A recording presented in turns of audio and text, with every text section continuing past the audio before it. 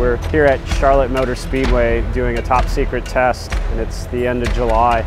And we didn't start on this project until October of last year. So to believe that you could design a whole new engine and a whole new bike and actually be testing so few months later it, it's it's just awesome. It's just amazing. The bike has made tremendous progress in terms of lap times already but we have to go even faster. And the other hard part is reliability. It's one thing to go fast but you have to finish to win.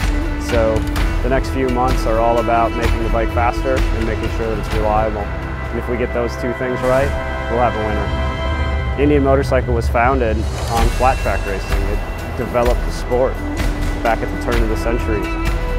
And to be able to bring that back to the track, to do something that's legendary, it's an honor.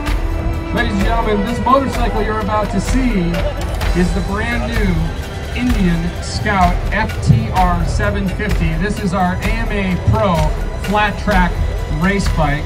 This will be raced next season. We're stoked to do that and reveal that right here in Sturgis. This is the first time this has been publicly revealed.